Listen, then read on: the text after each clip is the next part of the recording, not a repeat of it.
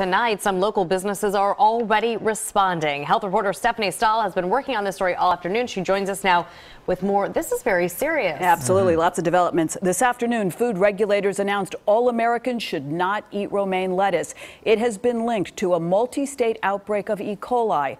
Although no one has died, it has sickened 32 people in 11 states. That includes three cases in New Jersey and 13 people have been hospitalized. Retailers and restaurants have already started throwing out romaine lettuce. Eyewitness News in South Philly at Scannicchio's restaurant, they're putting the romaine lettuce in the trash there, and it is off the menu for the foreseeable future.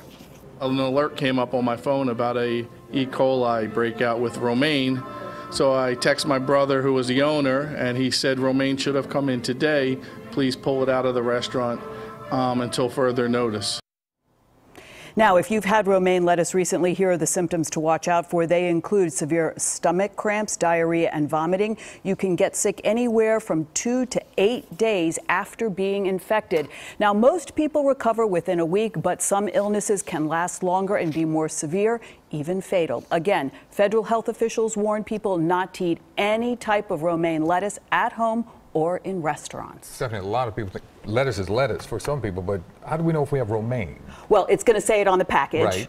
In restaurants, ask about it. People who know, I mean, it can come in a head of lettuce, which uh, is a longer leaf. It can mm-hmm. be chopped up. It's in a Caesar salad.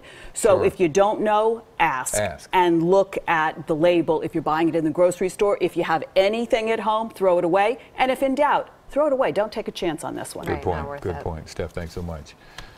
We reached out to some supermarkets in our area about the E. coli danger. Acme Markets responded, issuing this statement.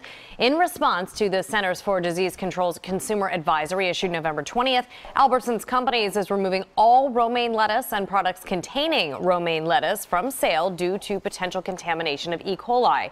Customers who have purchased these products should discard them or return them for a full refund.